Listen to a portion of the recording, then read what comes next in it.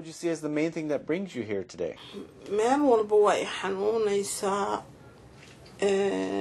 ilaa tin ilaa cirib meel walba way xanuunaysaa She's saying that um, everything hurts from um, from head to toe.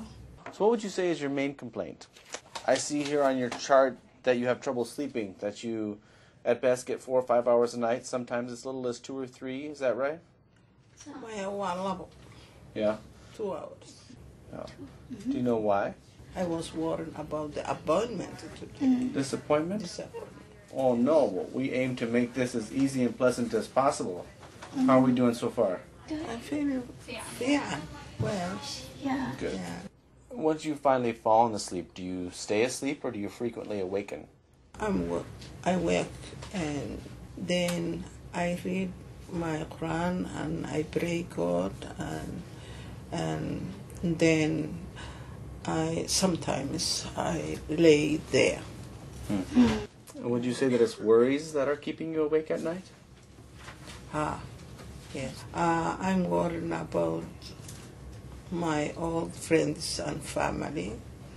I haven't seen them for a while. Do you dream about your friends and family? Do you dream at all as far as you're aware? I afraid my dreams. I don't like my dreams. It hurts me. Okay. Well, we don't have to talk about this anymore right now if you don't want to. Um, in fact, why don't we move on Yeah, and uh, I frightened my dreams, so, so yeah. I don't like uh, to remember what what happened to me.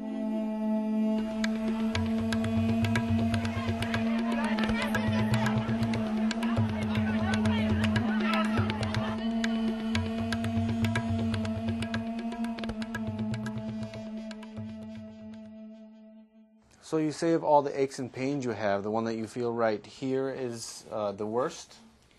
Ah. Mm. Ah.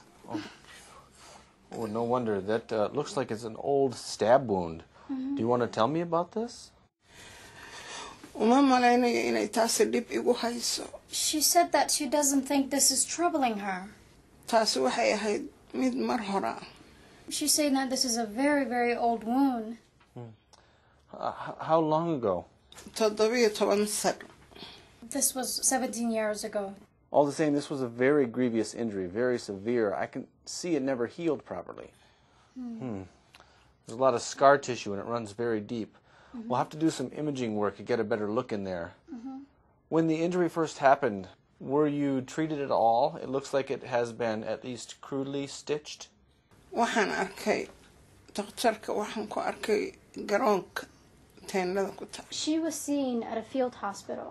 Well, Ayeyo, all these years I I never knew. jiinkeenna iyo waalidkeennaba Hmm. ma aanan doonayn inaad kuwiina yaryar inay wax ka ogaadaan Hmm.